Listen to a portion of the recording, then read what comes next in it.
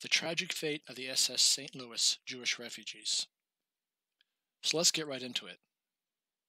In May of 1939, 937 anxious Jewish refugees fled the horrors of Nazi Germany aboard an ocean liner named the SS St. Louis. Most were German citizens, though a few were from other European countries like Poland and Austria. The passengers planned to reach Cuba first, then ultimately seek asylum in the United States. Ever since Kristallnacht, the infamous Night of Broken Glass in 1938, the Nazis had begun systematically burning synagogues and confiscating Jewish property throughout Germany and Austria. By 1939, Adolf Hitler had plans to close the German borders, and many countries were imposing quotas, limiting the number of Jewish refugees they take in. Havana, Cuba was seen as a safe, temporary port to get into the United States. At the Hamburg docks, tearful relatives waved goodbye to their loved ones. Given Hitler's anti Jewish campaigns, they didn't know when or if they might see each other again. Those on the ship knew they were the lucky ones, managing to get out of Germany just in time. For many passengers, the anxiety they felt soon faded as the St. Louis began a quiet two week voyage across the Atlantic Ocean.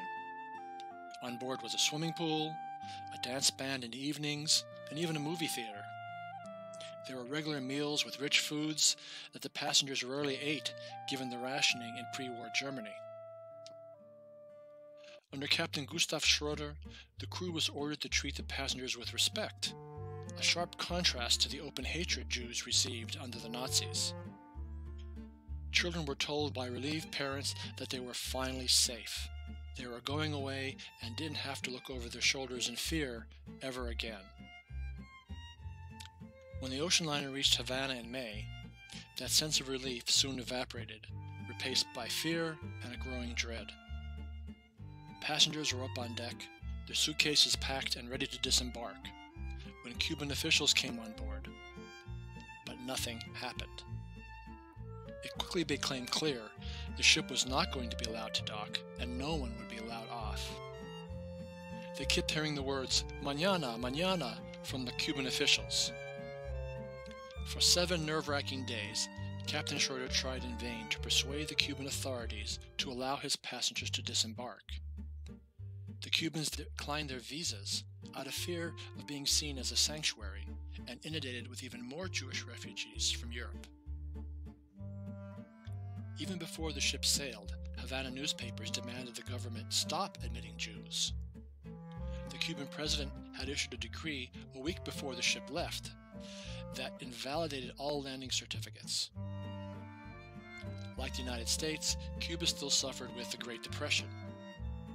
Many resented the refugees already admitted as they competed for scarce Cuban jobs. The owners of the St. Louis knew before the ship sailed that its passengers might have trouble disembarking, but they told none of them. The plight of the SS St. Louis attracted a great deal of attention in the media. After Cuba denied entry to the refugees, the press in Europe and the United States broke the story to millions around the globe. Though U.S. newspapers were sympathetic to the refugees' plight, only a few editors suggested that the United States actually admit them instead. Hostility toward immigrants had fueled xenophobia and isolationism in the United States as well. Captain Schroeder had no choice but to leave Havana and sail directly to Florida. Ultimately, US, US authorities also refused to allow it to dock. Sailing so close to Florida, they could see the nightlights of Miami and hear the city sounds. Passengers desperately telegraphed the president, pleading for refuge. Franklin D. Roosevelt never responded directly. The State Department sent a telegram to the ship stating that passengers must wait their turns and qualify for visas before they could be admitted. Quotas established in the 1920s strictly limited the number of immigrants who could be admitted each year. In 1939, due to Nazi aggression against the Jews, the annual German immigration quota was quickly filled with a long waiting list of several years. US public opinion, though critical of Hitler and sympathetic to the refugees, favored immigration restrictions nonetheless. Like Cuba, Great Depressions left millions without work and fearful of competition for scarce jobs. President Roosevelt could have issued an executive order, but public hostility to immigrants and a forthcoming election were among his bigger concerns. By June of 1939, Captain Schroeder had no option but to turn the ocean liner around and head back to Europe. The joy the Jewish passengers had felt in May was replaced by desperation once again. No one dared speak about what the Nazis would do to them once they returned to Germany. People were openly weeping as they wandered the ship's decks. One passenger even committed suicide by slitting his wrists and jumping overboard. As it turned out, the Jews did not have to return to Nazi Germany. Instead, four European countries ag- agreed to split up the refugees. In June, the SS St. Louis docked at Antwerp, Belgium, over a month after it had left Germany. Four governments agreed to, agreed to secure visas for those passengers.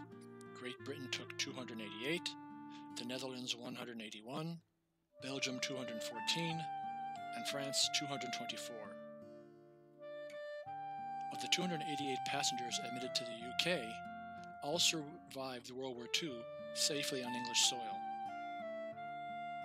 Unfortunately, of the 620 Jews who were forced to return to Europe, 532 were trapped when the Nazi Blitzkrieg stormed through Western Europe in 1940, seizing Belgium, the Netherlands, and ultimately France.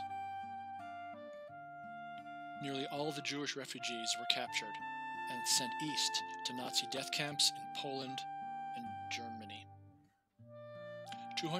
278 managed to survive the deadly Holocaust, but alas, 254 souls did not.